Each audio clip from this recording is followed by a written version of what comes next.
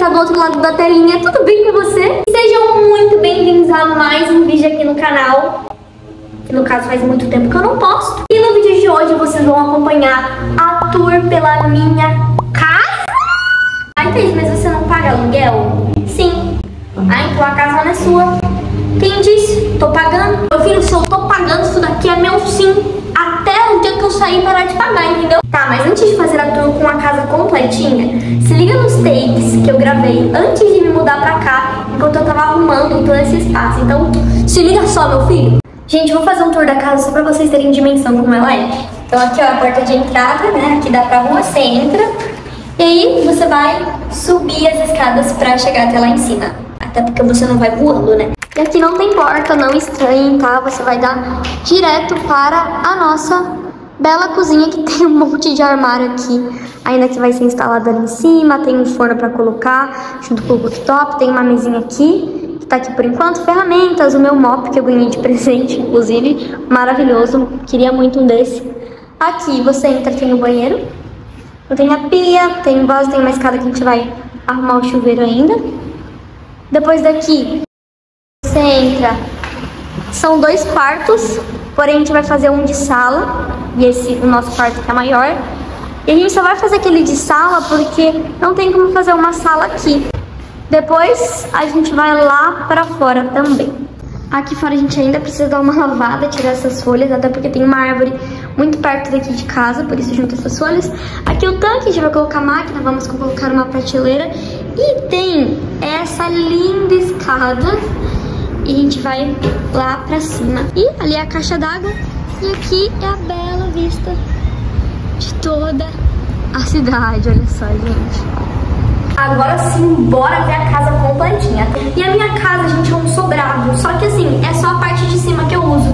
Aqui que é a parte de baixo, nessa porta, é uma marcenaria de outra pessoa, tá? Então eu só alugo a parte de cima, beleza? Então vem comigo, dá a mãozinha aqui que eu vou te levar pra minha casa. Em primeiro lugar, você se depara com essa escada e lá em cima, que pra quem me acompanha nas redes sociais, se você não me acompanha, filho, tá perdendo muita coisa. Na verdade, eu não tô perdendo nada, mas eu falo que você tá perdendo muita coisa pra você poder me acompanhar. Pra quem me acompanha, viu essa parede que foi pintada pelo meu padrasto, inclusive que, ó, gente, deu todo um tchan no ambiente. E vocês conseguem perceber essa diferença no vídeo que eu gravei antes de me mudar pra cá. Então, bora. E se liga nessa parede, gente. Olha a diferença que ela dá do antes e depois. Lindíssima, né? Depois disso, você se depara com esse tapetinho aqui, entendeu? Que é o tapetinho da entrada, pra você escorregar e cair pra trás, brincadeira. E assim que você entra, gente, a minha ideia... Opa, tudo bom? Olha vocês ali. A minha ideia é fazer um cantinho do café. Mas enquanto não tem café, nós deixa só isso daqui mesmo, entendeu? E ao virar aqui, gente, você já se depara com a minha casa. Não tem porta, não tem nada, já é a minha casa, entendeu? E aqui, primeiramente, nós vamos dar uma analisada na cozinha. Gente, essa aqui é minha cozinha que vocês já estão cansados de ver nos vídeos, acredito eu. E essa mesa vocês sempre comentam dela, ela é muito bonita, né, gente? Ganhei de presente da minha mãe. Inclusive, só pra comentar, todos os móveis aqui da cozinha eu ganhei de presente, gente. Não teve nada que eu tive que comprar. A única coisa que eu lembro de ter comprado foi esse armário aqui, esse balcão que eu comprei na barganha ainda, gente, novíssimo. Olha isso daqui, novíssimo, vale super a pena, tá, gente? E esse grandão também, que eu comprei usado e eu acredito que deu certinho na minha cozinha. É um pouquinho alto pra mim? Sim, mas o que, que não é alto pra mim, né? Vamos combinar. Os armários eu geralmente uso pra guardar copo, pra guardar pratos, essas coisas que a gente usa mais de utensílio, tá? E essa parte de baixo da pia, que já veio com a casa, eu guardo grande parte dos dos alimentos, tá? E virando aqui nessa parte da cozinha, você se depara com esse balcãozinho também, que veio junto com esse armário, porém meu padrasto ele reformou, tá? E aqui eu guardo mais produtos de limpeza, enfim, eu não vou abrir, que senão vocês vão se assustar com a bagunça que tá aqui. Da cozinha é isso, gente. Da cozinha aqui você tem a entradinha pro banheiro e ali pro quintal, que logo logo a gente já vai ver. Saindo da cozinha, nós temos esse cantinho, gente, que eu e o Eduardo chamamos ideal para fazer o meu cantinho de estudo. Sabe por quê? Porque primeiramente a mesinha coube certinho aqui, entendeu? E se deixasse a mesinha ou na sala ou no quarto, uma hora ou outra ia me atrapalhar de estudar. Então, quando eu quero estudar, o Eduardo fica no quarto ou na sala, fecha a porta, e eu fico tendo meu momentinho aqui, entendeu? Então, eu achei esse cantinho excelente. Acho muito bom, coloco uma cadeirinha aqui, coloco meu computador, estudo e tá tudo certo. Aqui do lado a gente tem essa bancada, na verdade, que cobre a escada, mas a gente de fato não sabe o que fazer aqui, gente. Se vocês têm alguma ideia, deixe nos comentários do que a gente pode fazer aqui, porque ficou um canto mais ou menos vazio, né? Então a gente não tem ideia nenhuma do que pode colocar aqui. Saindo desse cantinho, a gente vem para onde? Para a nossa sala improvisada. E, gente, eu vou confessar algo. Pra mim, pra Eduardo, esse ambiente é ótimo. Fica uma salinha de cinema, sabe? Então aqui tem as ring lights que, gente, não tem aonde botar. Então a gente coloca aqui na sala mesmo por enquanto. O sofá, o nosso tapete, essas cadeiras que eu e minha mãe decidimos colocar aqui. A gente achou que deu um tchan no ambiente também pra quando vier visita, enfim. A nossa cortina. E aqui fora gente tem uma árvore tão bonita, gigantesca. Sério, já quiseram muitas vezes arrancar essa árvore e eu confesso que eu não quero que arranquem ela. Outra coisa que temos na nossa sala é esse painel de televisão, é óbvio, né? Porque se nós está na sala tem que tomar televisão. Enfim, essa nossa televisão a gente ganhou também, foi um baita testemunho, um baita presente de Deus. Fora isso, temos essa plantinha. Com certeza, se você tá falando comigo, tá na minha casa, vai ter planta. E é uma jiboia, pra quem pergunta, tá? E é muito bom ter esse tipo de planta em casa, que ela se adapta muito bem aos ambientes de dentro de casa. Eu gosto pra caramba dela, olha como ela tá grande. Lindíssima, né, gente? Ainda no painel a gente tem algumas fotinhas, minha e do Eduardo. Olha só que bonitinho, gente. Não sei se dá pra enxergar. Nossas bíblias, que nós costumamos fazer o nosso devocional aqui na sala mesmo. E é isso, gente. Ó, que bonitinho. Quando a gente foi pra nossa lua de mel, a gente trouxe de Monte Verde também. E ó, uma visão geral da nossa sala para vocês. Nós ainda queremos colocar um quadro aqui bem bonito, sabe? Mas ainda não decidimos qual. Então tem bastante coisinha pra mexer aqui nessa sala. Uma coisa que ainda me incomoda nessa sala são essas fiozeiras aqui embaixo, tá vendo? Mas é por conta da televisão, da internet, enfim. Vou dar um jeito de cobrir isso porque isso me incomoda. Geralmente, quando o pessoal vem em casa, ninguém costuma ficar muito na sala, não. Geral fica na cozinha, que é mais espaçosa. Mas enfim, é um ambiente gostosinho também pra gente ficar. Saindo da sala, a gente tem o quê? O nosso quarto, muito bem. Tem aqui a cama, enfim, tudo que tem dentro de um quarto, né? A gente queria colocar uma cabeceira, mas ainda não providenciamos uma cabeceira para a nossa cama, tá? E o quarto, ele segue a mesma paleta de cores, tá, gente? Se é que vocês conseguem perceber. O tapete, o espelho, a cômoda, o guarda-roupa. Só tem uma leve diferença entre a cômoda e o guarda-roupa, mas como a gente comprou separado, a gente não percebeu, tá?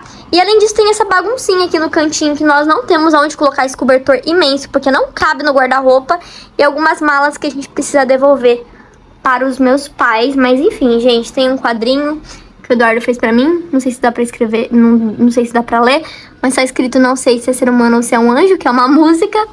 A nossa fotinha bem bonitinhos. Uma costela de Adão, que no meu quarto tem que ter planta assim. A janela e essa é a visão do quarto em geral, ó, gente. Bem simplesinho, nada demais. Saindo do quarto, vocês já viram a sala, o cantinho de estudo, a cozinha, o hall de entrada. Temos também o nosso banheiro, que não tem muito que mostrar, entendeu? Aquele espelho tá ali só provisoriamente, porque nem alcançar eu alcanço ele. Se nem esse aqui eu alcanço, imagina aquele, né, gente? E fora isso, a gente tem o quê? O nosso quintalzinho. Gente, esse quintal tá um pouco debilitado, entendeu? Tem coisa estendida, tem coisa na máquina pra estender, vou mostrar pra vocês. Gente, a coisa que eu mais detesto é estender roupa, então ela vai ficar fazendo aniversário aqui dentro. Tem alguns produtinhos de limpeza aqui, além disso tem alguns baldes, umas bacias ali naquele negócio improvisado que a gente fez. Tem aqui o tanquezinho, entendeu? Mais bagunça. E, gente, o quintal é isso. E esse quintal tem problema, gente. Porque a água, em vez de cair pro ralo, ela volta pra casa, entendeu? Ela volta, cai tudo aqui, ó. Enfim, gente, é uma zona toda, entendeu? Tem que arrumar esse quintalzinho ainda. Mas tá dando pra usar, tá ótimo, é isso que importa. E agora a gente vai subir pro canto favorito meu da casa, que ainda tem muita coisa pra fazer lá em cima, que não tivemos tempo ainda de organizar, de montar um ambiente bacana. Mas eu quero levar vocês lá. Aqui de cima você consegue ter a visão de toda a cidade, basicamente. Ali pra lá é o centro da minha cidade, então é pertinho do centro onde eu moro. Tá vendo? Olha que bonito, gente. Gosto pra caramba daqui. Confesso que esse é um dos ambientes que eu mais gosto da casa, porque dá pra gente receber bastante gente. É claro que a gente quer melhorar aqui colocando, sabe, uns pallets, enfim, pro pessoal sentar, ou uma mesinha também pra fazer algo aqui em cima, um churrasquinho gospel, entendeu? Então dá pra fazer bastante coisa, eu tenho muitas coisas em mente. Eu sei que a casa não é nossa, não é comprada, é alugada, mas a gente quer fazer algumas coisinhas pra deixar o ambiente a nossa cara, que eu acho isso muito, muito, muito importante. Ó, gente, esse é o espaço aqui de cima. E tem também essa casinha, na verdade, que fica a caixa d'água. E eu guardo algumas tralhas. Gente, isso daqui não é nosso, tá? Essas garrafas de cerveja já tava tudo aqui. A casa é basicamente isso, gente. Não tem muito luxo. Até porque eu e o Eduardo casamos recentemente, faz o quê? Seis meses, mais ou menos. E a gente decidiu começar a nossa vida do zero.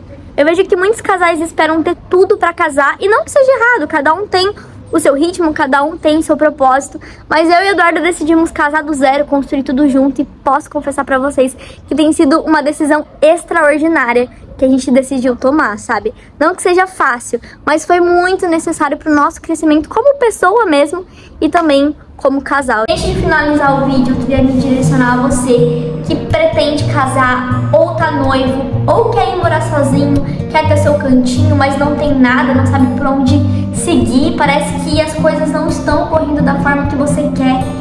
E amado, deixa eu te dizer, confie 100% em Deus. Tudo que eu tenho hoje dentro da minha casa e até a própria casa foi algo direcionado por Deus.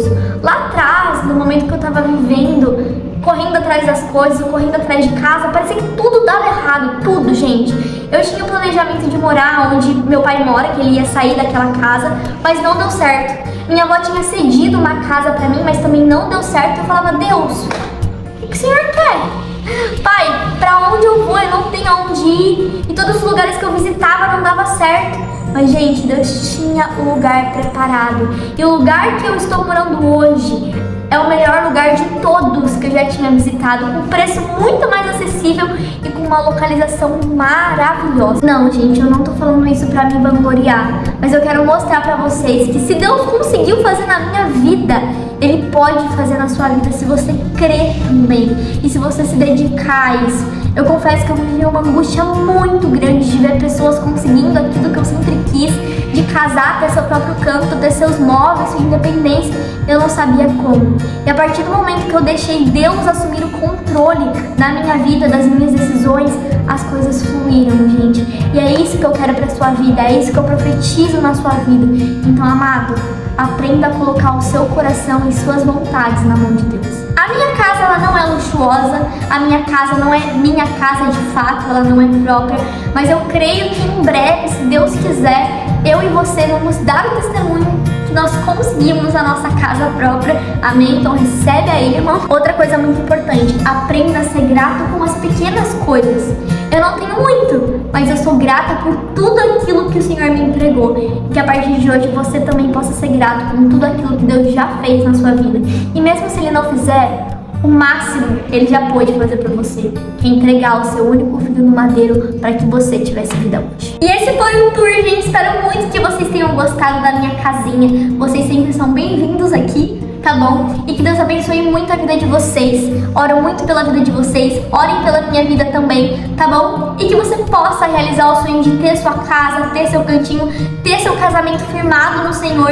E é isso, gente. Não se esqueça de curtir esse vídeo, tá bom? Senão você vai ser um atribulado. Se inscreve no canal também, que isso me ajuda demais, gente. Um beijo, se cuidem e até a próxima.